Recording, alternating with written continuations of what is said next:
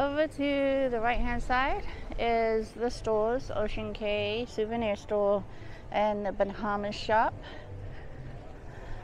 And you also have bathrooms over here to the left.